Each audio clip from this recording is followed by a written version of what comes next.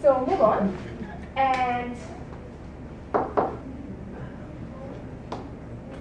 uh, until now, I talked uh, about use this uh, amazing social network, and uh, I, I have done that uh, following these three main points, design and icons, how to upload photos and videos on Instagram, and finally uh, showing you the main purposes of this social network. So um, experience your life and post it on a social network that gives you the chance to do it. Do it on Instagram. Thank you.